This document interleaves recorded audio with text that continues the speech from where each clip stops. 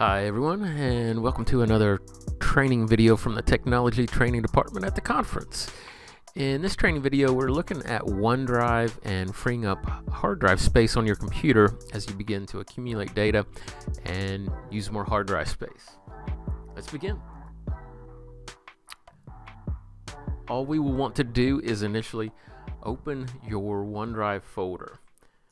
So I'm going to click File Explorer and over to the left hand side I'll click OneDrive dash TN District Attorneys. This is where my files are located to view the available space on your existing hard drive.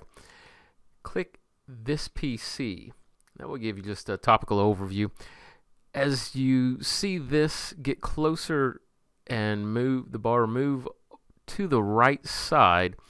When it gets around 10% the bar color will be red and that will indicate that you are using a lot of hard drive space and your drive is almost completely filled up. So what you want to do as you begin to use OneDrive is you have the capability to free up hard drive space from your computer which will then take your files and store them in the cloud until you decide to double click or re-download the file.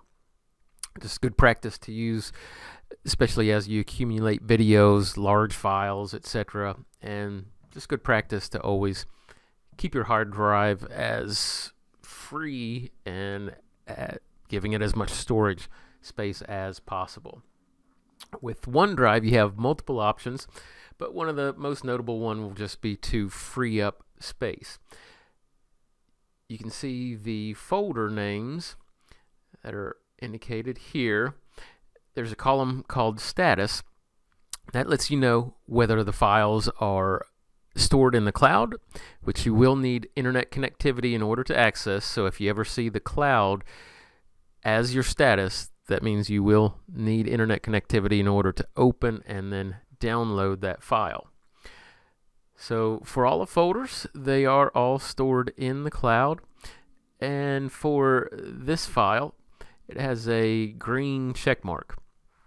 What that means is that file is local and locally stored on my hard drive. This is a large file. You can see it's 5.246 gigabytes. And if I wanted to free up the space on my computer, I could simply right click on the file and then left click free up space.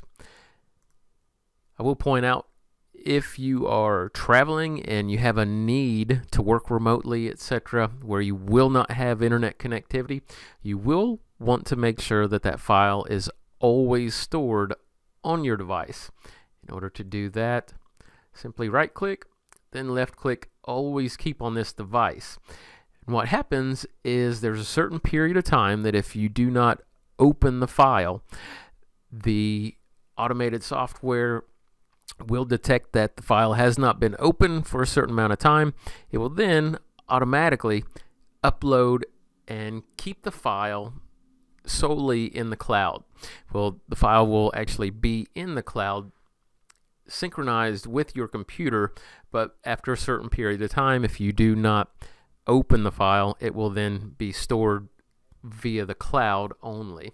And in order to access the file, you would need internet connectivity in order to download that file again.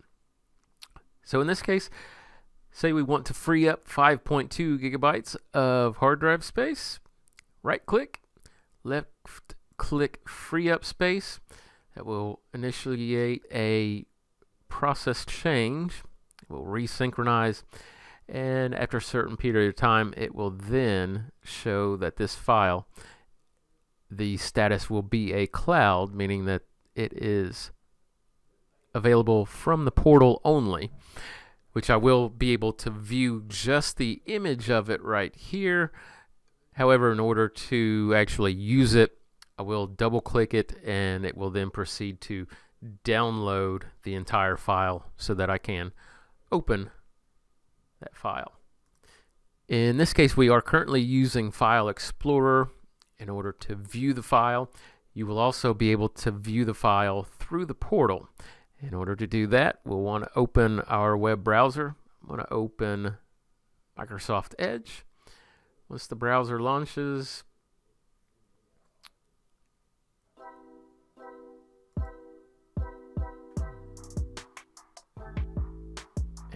and we will sign into the portal. There is quite a bit of activity going on. Okay, OneDrive has updated. That file should be shown. Yes, we do see the cloud. Okay, that's good. Message just about what occurred. Do you see the cloud status is a cloud, so that means that that file is available online only. Go back, we'll go to the portal, sign back into office.com, click OneDrive. You will not have to do this, but this is just to show you through uh, through the portal and your browser that that is available. And you will just simply be using File Explorer in order to access and manage the data, the content, etc. that's on your hard drive. Well, this completes our video training on OneDrive and freeing up hard drive space on your computer. Thanks for watching.